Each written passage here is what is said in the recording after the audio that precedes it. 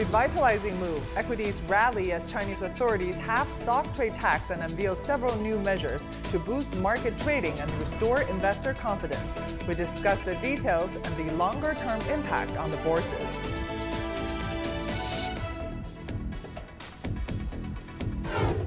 Boosting ties, Chinese Commerce Minister Wang Wentao and U.S. Secretary of Commerce Gina Raimondo confer in Beijing. The meeting is seen as collaborative efforts to alleviate the strain between the world's two largest economies. Protests intensify in Japan and around the world days after Fukushima begins the release of nuclear contaminated water into the Pacific. From CGTN headquarters here in Beijing, this is Global Business. I'm Michelle Vandenberg. We start with the news about China's capital markets. The Ministry of Finance has cut the stamp duty on stock trading in half, effective today. The decision aims to revitalize the capital market and enhance investor confidence. In parallel, the China Securities Regulatory Commission also introduced several measures to reinforce market confidence. The Commission has announced that China will moderate the pace of initial public offerings and further regulate reductions in major shareholder stakes. Meanwhile, the government entity has also reduced the margin financing prerequisites for investors purchasing securities, lowering it to 80% from the previous 100%. This adjustment will come into effect after the market closes on September 8th. The reduction in stamp duty had an instant positive impact on China's stock market at the start of the week. Timothy Pope has more from Shanghai. The uh, slew of policies released today to support the markets uh, led to an early surge for Chinese A shares, with the Shanghai Composite uh, opening around 3,200 points. But a lot of those gains did taper off throughout the rest of the session, and the benchmark index closed back below uh, 3,100. Uh, it did still gain 1.1%, and the Shenzhen component rose 1%. But sentiment uh, does still seem to be a little shaky. the markets were responding to these as policies to support stock buying rather than the uh, broader economy.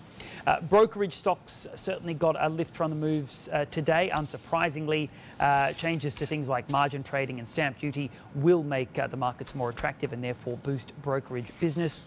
Guotai Junan Securities added about 6.8% and CITIC Securities gained 1.5%. Real estate developers also got a boost today. There were some new guidelines published for uh, planning and construction of more affordable housing in China. Uh, China Vanke stock uh, ended the day 4.5% higher, while Poly Developments gained 2.7%. Earlier, we talked to Chen Jiahe, Chief Investment Officer of Novum Arcade Technologies, about the long-term impact of the stamp duty reduction. If we look at the long, longer term, then the cutting of stamp tax will uh, return more profit for investors. In 2022, the overall stamp tax collected from the stock market was almost 300 billion RMB. So this cutting returns around 150 billion RMB for the market. And besides the stamp tax, there is also the very important policy given out by the CSRC uh, that is aimed at regulating the stock selling of dominant shareholders. Uh, the new rule said if a company is having problems with its profitability, uh, stock price, or dividend policy, then the stock selling of its dominant shareholders will be limited. Uh, this largely increased the responsibility that dominant shareholders will take to the companies, and it is a very useful improvement, especially when we look at the long term.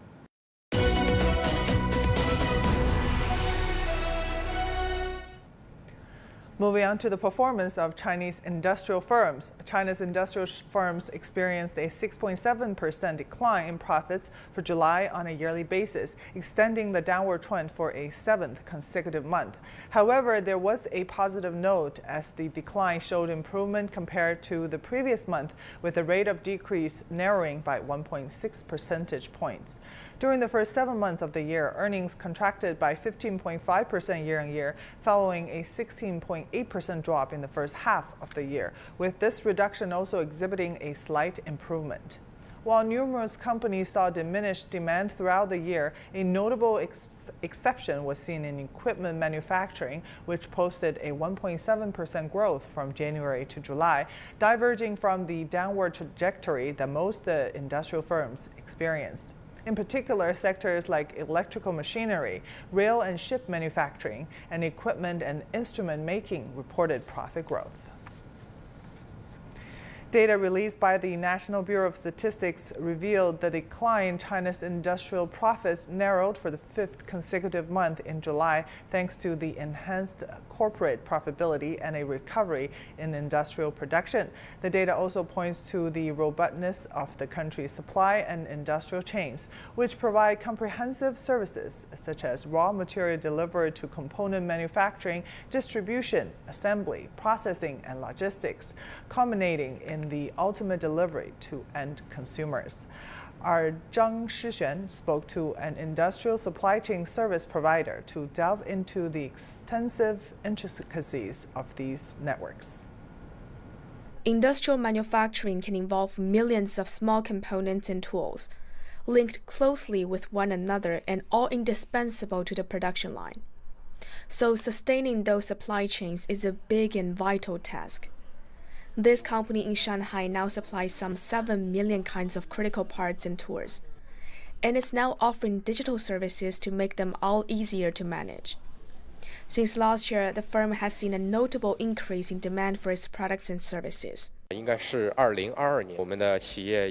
2022, due to changes in the global environment, companies have had to improve themselves. And the most direct way is to enhance their supply chain, involving purchasing, logistics, and storage management. And they've been seeking digital solutions. Every day, we receive an increasing number of inquiries from small and medium sized firms. Restricted by their small scale, they are usually weaker in dealing with risks. So they need higher quality supply chain management, which can help them optimize costs more. The company will be one of the 2,600 exhibitors at the China International Industry Fair this year. The exhibition, which will open in Shanghai next month, will see a record high number of exhibitors and in the size of its exhibition area. New trends like low carbon and intelligent industries will be the highlights. Companies involved in the whole industrial chain will be attending. The fair not only has robot developers from home and abroad, it also features some key component suppliers. We have extended the exhibition content to the entire chain, so as to enhance the core capability of the industrial chain, as many companies are facing transformations and require core parts. There are also an urgent need of digital transformation to enhance efficiency. It's the first time since 2020 that Shanghai will be hosting the fair, and more than 500 new products or services are expected to debut. The world's top four robot firms and hundreds of small and medium sized enterprises will showcase their products and services, building further networks between industrial manufacturers and those they supply and which supply them. Zhang Shixuan, ICS for CGTN Shanghai. You're watching Global Business, still to come. Chinese Commerce Minister Wang Wentao and U.S. Secretary of Commerce Gina Raimondo confer in Beijing. The meeting is seen as collaborative efforts to alleviate the strain between the world's two leading economies.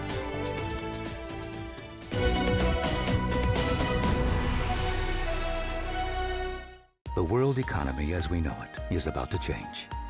Global business reports highlight emerging markets, developing countries, and dynamic sectors worldwide.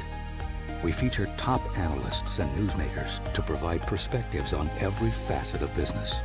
From an on-the-ground perspective, we provide you with balanced and objective assessments. Fast, sharp, and insightful. Global Business. Only on CGTN.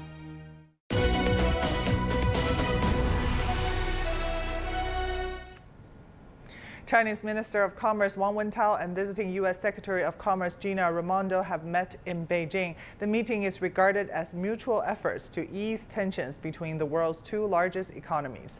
Raimondo arrived in Beijing on Sunday for a four-day visit to China. The U.S. said this visit is to boost bilateral business ties. Our reporter Zheng Chunying has more in Beijing. Gina Raimondo arrived in Beijing late on Sunday for a four-day visit.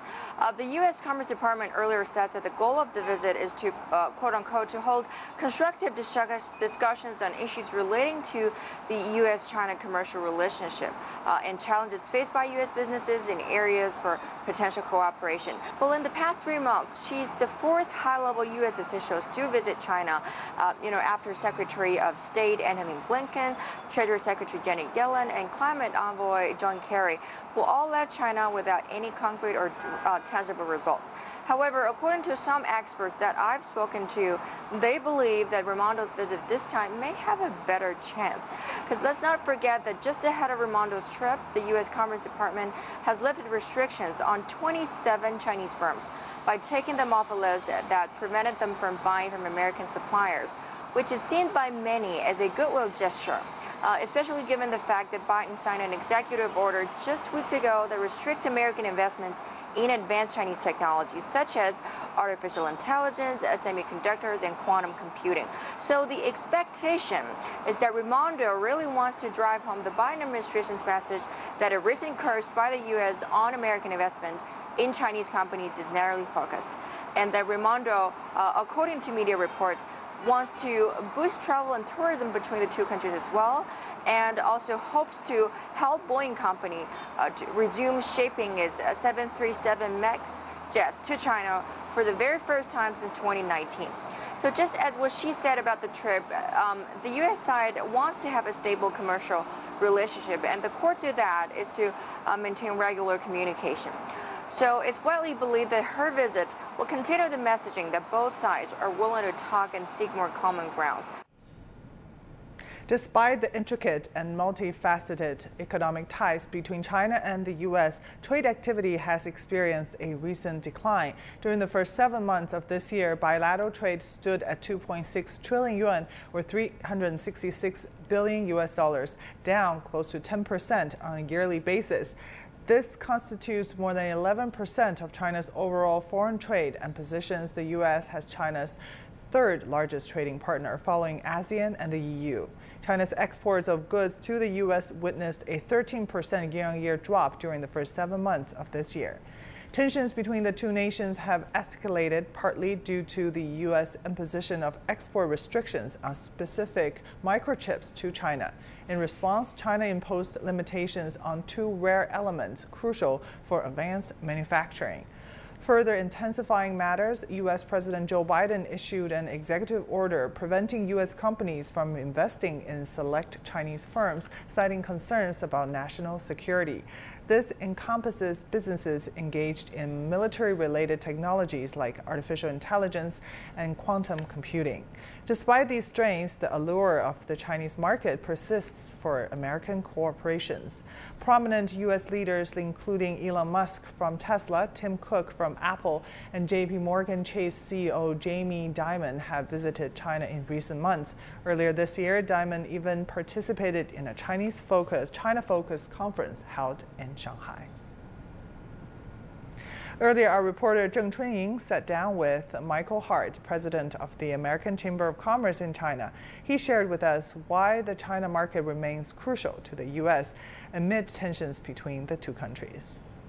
Amid the potential prospect of so-called uh, decoupling from China, there are also concerns um, that the multinationals are moving their supply chain out of China. Uh, what do you make of China's role in the overall global supply chain? So I think it's natural for companies and countries to make sure they have a diverse uh, and well-balanced supply chain. So over the decades, China has built itself up as a major manufacturing uh, and sourcing location. China will continue to be an important part of U.S. companies and European company supply chains for decades to come. China has always been stressing its interest in FDI uh, and its commitment, its strong commitment uh, in further opening up. From your point of view, uh, what are some of the opportunities could that create for U.S. companies? We do believe China will continue to be an important place for U.S. companies to invest. So there are plenty of areas where China is uh, a leading sector. So, for example, electronic vehicles. Um, China's consumer market is very attractive. Uh, aviation sector is very attractive. So a number of uh, our member companies are very interested to continue to engage with China to see what China can do from a consumer point of view, but also China will continue to be important in terms of manufacturing and supply chain. So a whole host of our companies are very um, interested in continuing to doing to business here. And we need to manage the relationship. So US companies have said over the past three years their number one pain point was US-China relations. So if we can make US-China relations better, we can probably expect more FDI from US companies. Earlier, we spoke to Professor Liu Baocheng from the University of International Business and Economics. He told us there are good signs for U.S.-China trade. There are very few other countries that can really replace the two biggest economies in terms of interdependence and complementarity in trade and investment and the technological cooperation. However, uh, we do notice that uh, since the Trump administration, there has been escalation of trade wars, However, we can uh, see that uh, the U.S. is really changing its tone uh, given uh, the interdependence. And so, as you mentioned, there are a number of high-level, you know, administrators who come to China to pave the way in order to set the guardrails against the possible veering into conflict from competition. So this is really a good sign. And right now, the recent decline in China-U.S. trade uh, cannot really be completely contributed to the decoupling efforts uh, over uh, the uh, uh, over the Pacific because of the economic performance and also because of the weakening demand in the United States, etc. Both of the markets between China and United States need some sort of adjustment, and uh, I still uh, think that uh, the China's position is not really easily to be substituted, despite of the decoupling or de-risking efforts from those politicians because it is really the business people and consumers who make the final decision in who they want to trade. You're watching Global Business, still to come. Protests intensify in Japan and around the world days after the former started releasing treated radioactive water from the Fukushima nuclear power plant into the Pacific Ocean.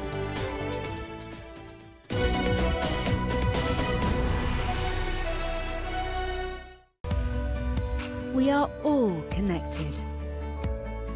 Across borders, across continents, connected by ideas, a shared humanity. Stay connected.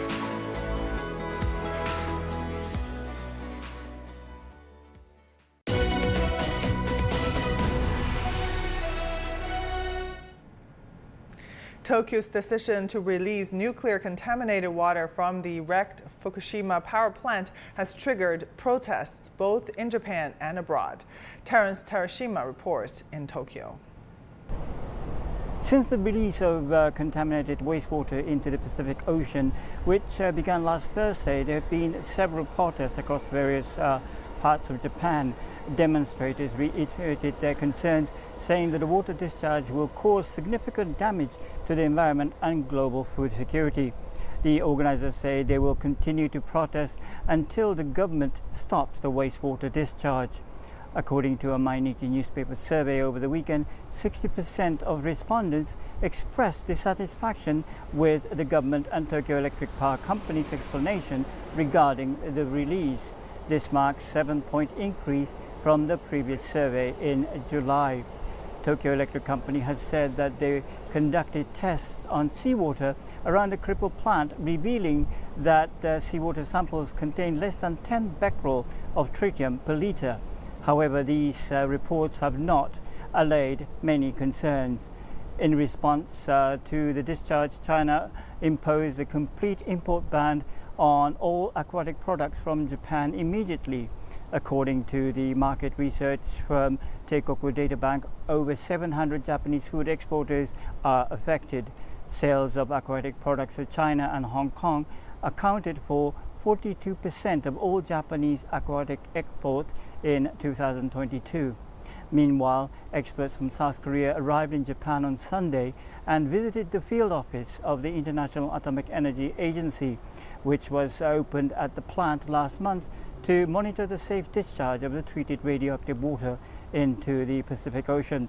Length of their stay this time has not been determined yet, This marks the first of the series of bi-weekly visits by South Korean experts to the agency's field office at the plant. Terence Hiroshima, CGTN, Tokyo.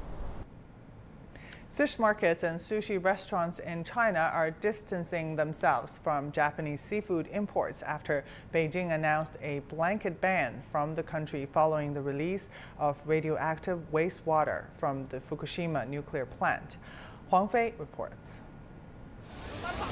Feng Changhao and her husband have been selling seafood at the Huangsha market for over 20 years. All of their catch comes from the coastal waters of Guangdong province. It will be months before Fukushima's wastewater is estimated to reach Chinese shores. Some international experts have said the environmental impact is negligible. But Feng is still worried about the future of her trade. We buy from fishing boats, so we know them well. Many of them have fished for generations. The ocean is their livelihood. How will they survive if the ocean is polluted? They can't just switch careers. What will they even do? This is the largest wholesale market for fresh seafood and aquatic products in China. Scallops were among a small fraction of goods imported from Japan.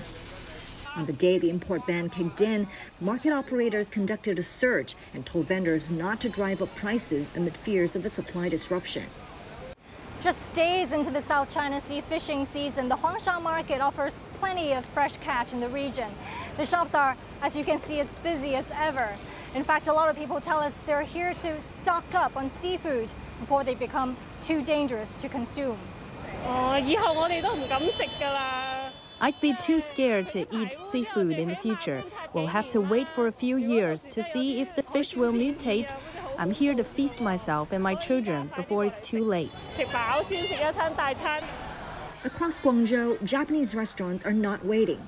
This sushi chain says it's long invested in international sourcing, especially from Norway and the Americas.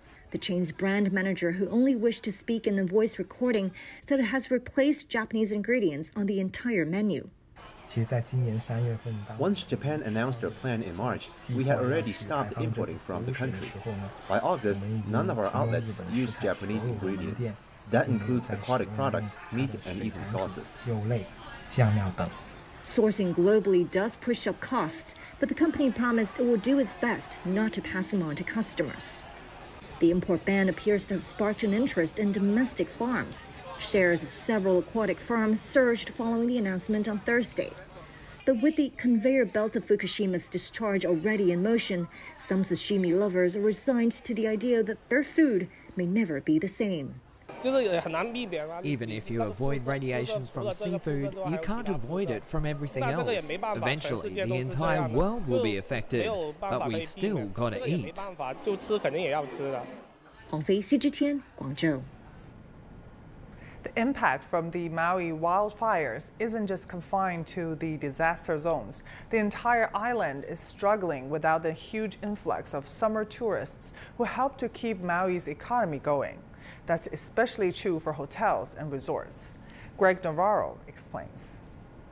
Yeah, are you, are you at the unit right now? Business at the Maui Sunset Resort Hotel is down. We're at about 50% uh, of where we were a year ago. Way down, because part of the 50% currently staying here are first responders and emergency workers.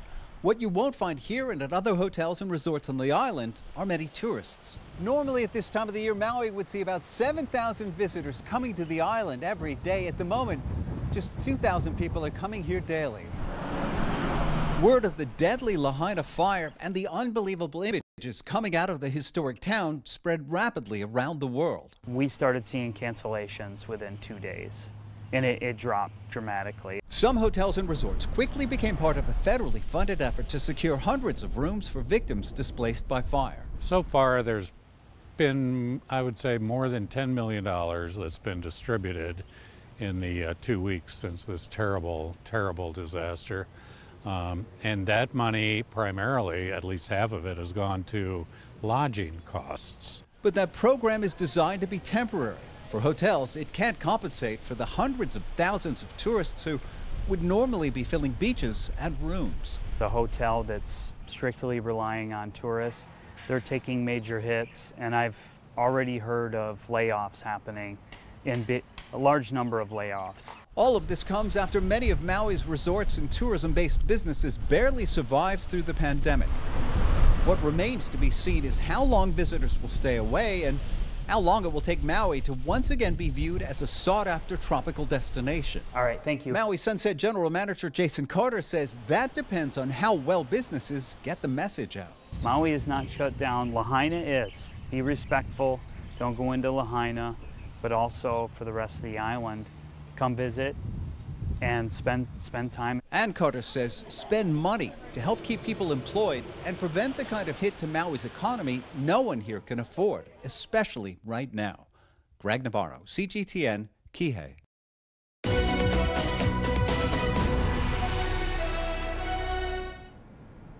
Chengdu in southwest China's Sichuan is best known for its world-famous cuisine, panda bears, and rich culture and history.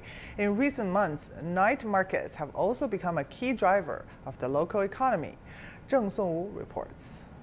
As a new first-tier city, Chengdu is one of the most popular destinations in China, especially during the summer holidays.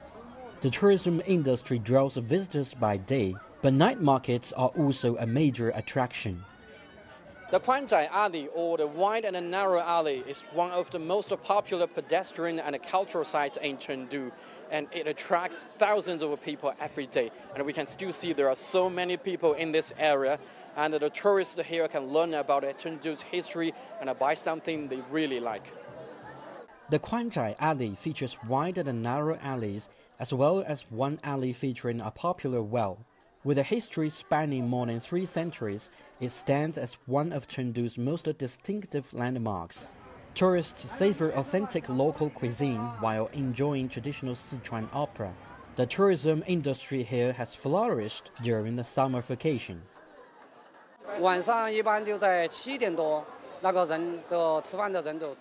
7 p.m. had the most visitors. About 80 customers occupied my 45 tables on the first and second floor, and the tables were still not enough for all the tourists. There were so many tourists from July until late August, as it was the summer holiday. The barbecued squid is the most popular food in my shop. Dandan noodles have sold well too. The two week long Chengdu Fisu World University Games, beginning in late July until August, also boosted the local economy.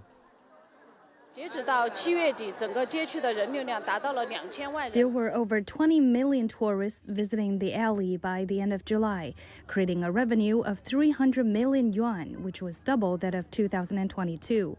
The number of tourists surpassed the whole of 2019. Global athletes preferred to visit here in the evening as the weather was too hot in the daytime, and the shops in the alley were open until 2 a.m. during the Chengdu Fisu Games. Chengdu is planning to open more night markets over the coming months, as well as a range of cultural activities. As the summer holiday draws to a close in late August and the scorching temperatures grow cooler, the climate in the city is also likely to make it an attractive destination. 郑松 CGTN, Chengdu, Sichuan Province. And that will do it for this edition of Global Business here on CGTN. I'm Vandenberg in Beijing. Thank you for watching. Bye for now.